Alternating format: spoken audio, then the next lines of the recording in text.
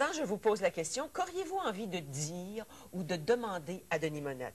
Alors, il est ici pendant toute l'heure. Vous pouvez lui poser toutes les questions que vous voulez. Il a envie de répondre à tout. Il n'a pas de tabou. Non. Je ne crois pas.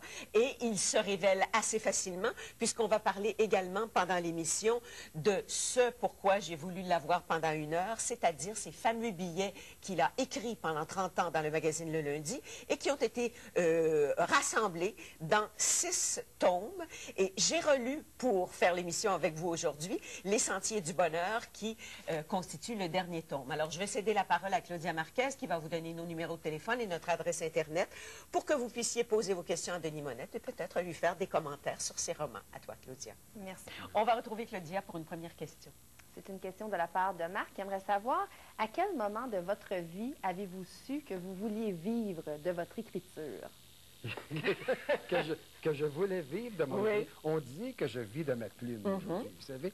Bon, C'est vivez- ce qui se colporte, en Oui, tout cas. c'est ce qui se- on- je vis de ma plume. Écoutez, nous ne sommes que deux maintenant. C'est plus facile de vivre de sa plume à deux Mhm. que de vivre de sa plume avec deux enfants et une maison payée comme c'était le, le cas. Le cas pendant toute votre Hein, vie, quoi. Alors, mais dans le fond, j'ai toujours vécu de ma plume. Étant journaliste, j'écrivais, donc je vivais aussi de ma plume.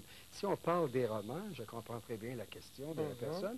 Si on parle des romans, je n'ai jamais pensé vivre de ma plume parce que je ne croyais pas à ce moment-là faire écrire. Je suis rendu à 12 romans, j'en avais fait un.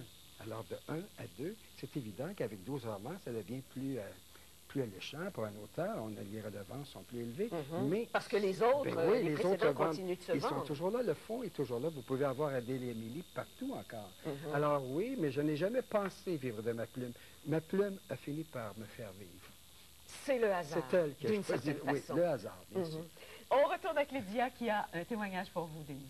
Oui, alors c'est Denise qui a téléphoné, qui voudrait que je vous dise qu'elle vous aime énormément. Elle vous a découvert tout récemment. Euh, vous lui faites énormément de bien et elle attend le livre Le Purgatoire avec impatience. Le purgatoire avec impatience, ben mon Dieu, merci, c'est mon, mon sixième euh, roman. Est-ce qu'elle doit vouloir dire la paroissienne? C'est peut-être la paroissienne, parce que c'est la paroissienne qui vient de sortir. Le purgatoire, c'est ça déjà fait librairie. depuis 1996. Je ne sais pas pourquoi Mais- elle choisit le purgatoire. Je ne sais pas, c'était un livre assez intense. Mais, Mhm. mais merci, madame, c'est très gentil, c'est un très beau témoignage. Merci beaucoup. On retourne à Claudia pour un témoignage et une autre question. Le témoignage est de la part de Mme Claudette Roy de Saint-Léonard qui dit que vous êtes un homme ouvert, qui se tient debout. Vous avez vraiment une belle grandeur d'âme. Vous êtes comme un mentor pour elle. Donc, elle vous remercie d'être ce que vous êtes. Et j'ai la question de Lisette et Gérald qui d'abord disaient on l'aime énormément, on a vraiment lu tous ses romans. Mais on aimerait savoir, est-ce que vous écrivez un roman à toutes les années?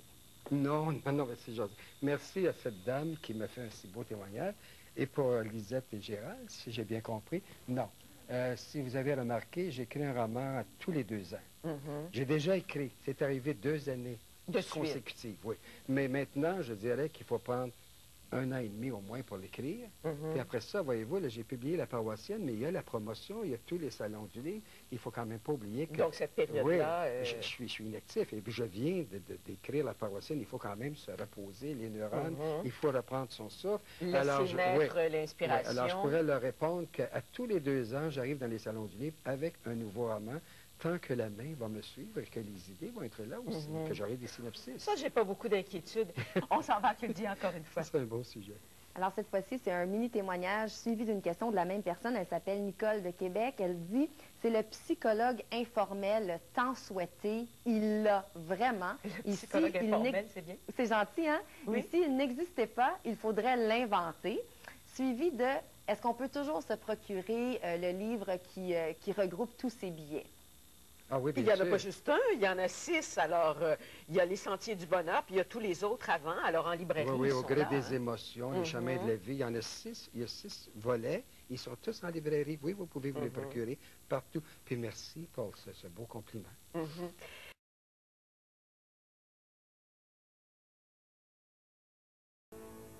On est de retour en compagnie de Denis Monette qui passe l'heure avec nous. Il est venu nous présenter son tout dernier roman, La paroissienne, qui est en librairie. Tous les autres sont là et vous les voyez défiler de temps en temps à l'écran. Et également nous parler de ces fameux billets qu'il écrivait pendant tant d'années dans le magazine 7 jours. Et euh, plus particulièrement du dernier, qui est celui de la, sérénité, Les Sentiers du Bonheur, mes derniers billets, qui est le tome 6 des billets. Euh, tous les tomes, vous pouvez les retrouver en librairie. Avant de reparler avec Denis, on va aller retrouver euh, Claudia, qui est occupée au téléphone, mais qui a un courriel à nous lire. Effectivement, c'est de la part de Janine Bélanger. Elle écrit Quelle belle surprise de voir M. Monette en zappant. J'ai plusieurs de vos romans que j'ai achetés au Salon du Livre et vous êtes mon auteur préféré. Est-ce que tous vos romans sont encore disponibles car il m'en manque cinq ou six? Merci et félicitations pour votre roman à la paroissienne que je viens de finir et que j'ai adoré. Une petite rapide. Dieu, merci, Bon. Ben, c'est très, très aimable. Mais ils sont Oui, tous en librairie? Ils sont tous disponibles. Et s'ils ne les ont pas, ils peuvent les commander. Mhm. Le- vous n'avez qu'à demander à la- au libraire de vous commander, que ce soit un purgatoire ou les bouquets de noces, ils sont tous disponibles. On retourne à Claudia pour un autre témoignage. Oui, c'est de la part de euh, Ginette Carrier, qui est auteure elle-même. Elle a écrit son tout premier livre qui devrait sortir au mois d'octobre.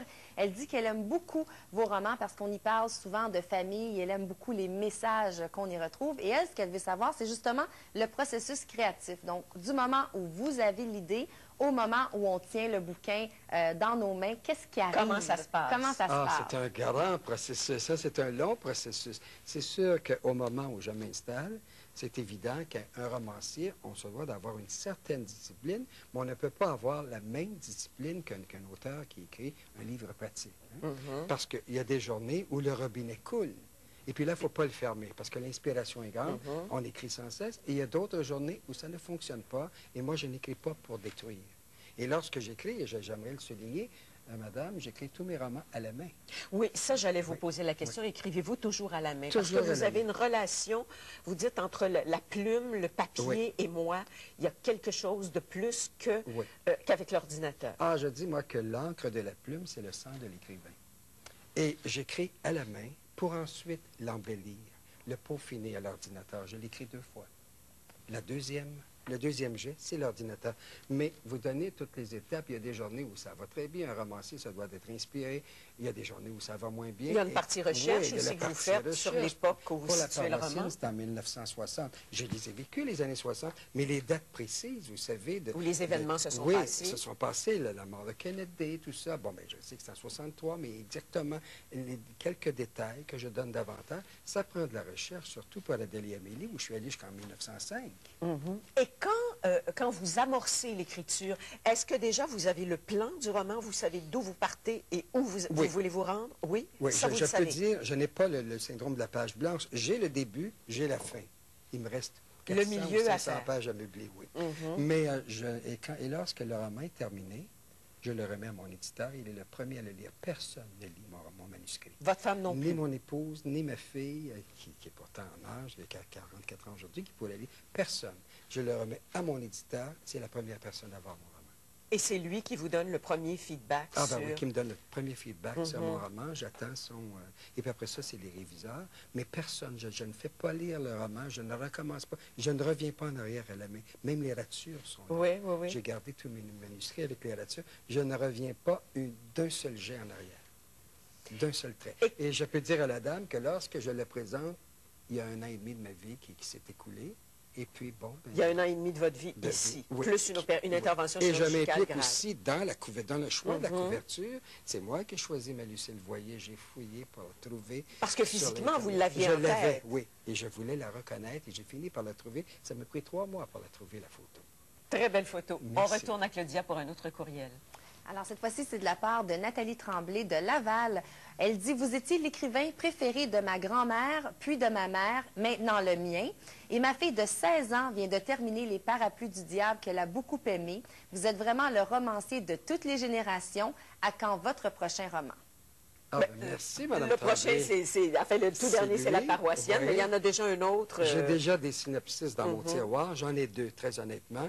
Mais avant de reprendre la plume, je dirais, bien mon Dieu, euh, on va se revoir dans deux ans, Mhm. sans doute. Oui, 16 ans, jeune Oui, fille qui vous... bien.